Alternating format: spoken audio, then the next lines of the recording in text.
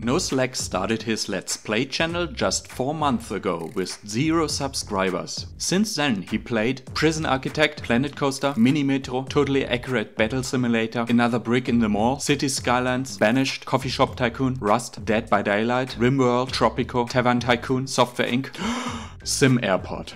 Before he started Sim Airport, he had 300 subscribers. And boom, his subscriber base exploded from 300 to 6000 in just two weeks. Howdy YouTubers, Nico here. Who wants to start yet another Let's Play channel?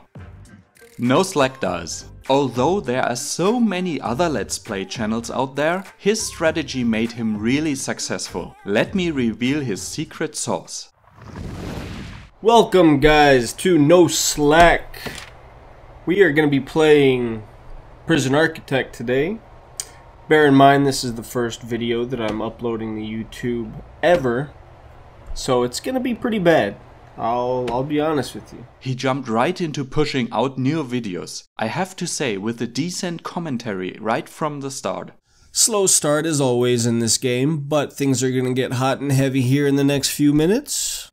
See, we've got we have issues here, issues here, issues here. Nope, maximum trains on red. All right, game over. Yep. Well, that's disappointing. You know what? Let's just try it one more time. I'm not a quitter, folks. Don't say that I am. That's why the name is No Slack.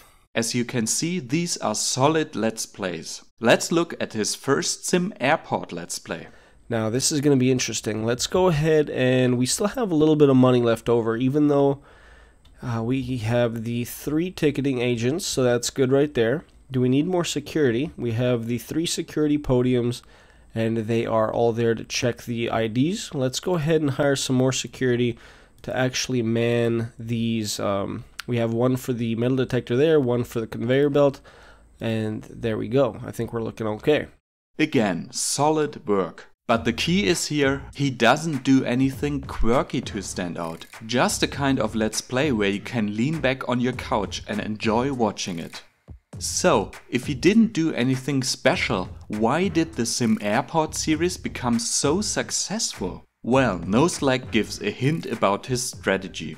What's going on guys, it's NoSlack Novak and we're starting a new series, well it could potentially be a series. I'll do a few episodes and if you guys like it then I will continue with Tropico 5.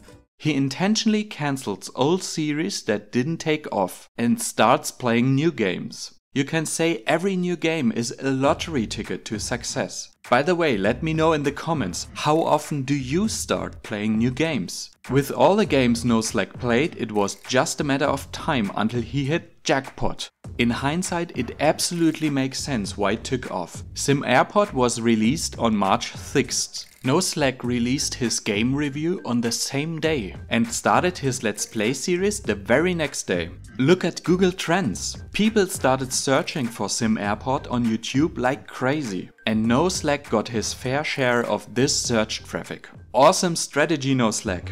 It was a pleasure to share your story.